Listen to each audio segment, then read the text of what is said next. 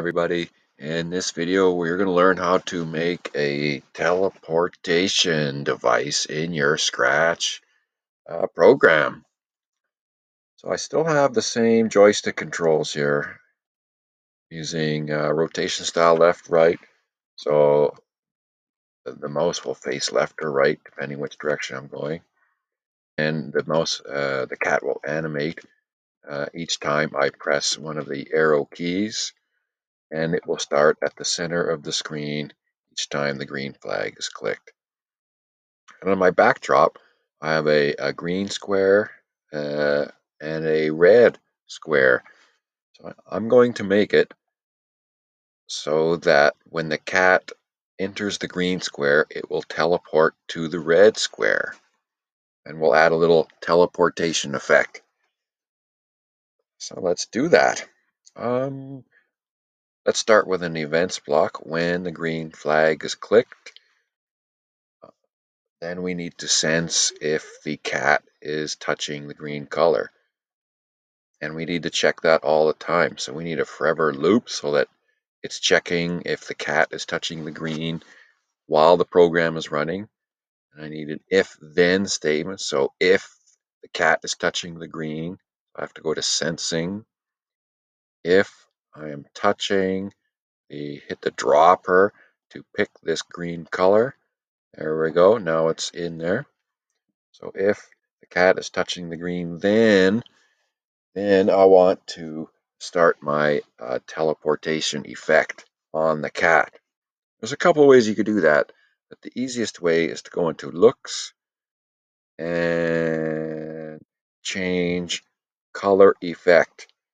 So you can change the color effect, We'll just change this uh, cat's color, but I want to change um, something else. So there's different effects in here. You can play with around with them, but I want the ghost effect. If I click it, the cat slowly disappears. In fact, I'm going to ch change it to 5, so it's a little slower, so it disappears slowly. And I need a, a repeat loop, so I'm going to go into control and repeat this. So the ghost effect starts at zero. So when I can see the cat, you know, as a normal cat, it's at zero. And when it's at 100, it is, it is uh, invisible. So I'm going to repeat this loop 20 times and make him invisible five, five units at a time until it is at 100, which and the cat will be invisible. So let's just try this out and see if it works. So here we go. Cat touches red, nothing happens. Cat touches green, disappears. Awesome. So now I just need to move the cat over to the red square and make him reappear. So to move, I'm going to go into motion. And I'm going to move the cat to that spot first. So the coordinates of that cat will be on this move block. So grab the go to block and the coordinates are x is 200 so that's way over here, and y is 132 up there, so that's right. So I'm going to go in there, and then I'm just going to change it. Uh, I'm going to do the same thing as this repeat loop, except I'm going to subtract 5 20 times in this repeat loop. So I need another repeat loop. Change it to 20. Need another change ghost effect. So that's looks. I'm changing the look of the cat.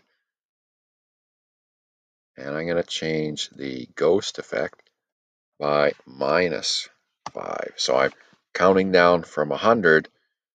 I'm counting down from 100 down to 0 so the cat will be fully visible. And there we go. It's the green, fades out, and then fades in. Perfect. So you could you could add a little sound effect too. So let's do that. Let's go to sounds and see what kind of sounds they have in the library here. You hover your mouse over the sound, it will play what it what that sound effect is. I want effect. Oh, that's magical sound. I like that. Let's do that one. Like that one. And now we'll go into code and code the sound. So that will be in the sound blocks, the sound blocks. So we're going to um, Play sound until done. No, that if you if you choose play sound until done, it will play that sound until it's done, and then it will move on to the next command. I just want to start the sound, to start the sound called wand, and then it will, as soon as it starts, it will go on to the next command. That's what I want. So let's try that. Red, nothing.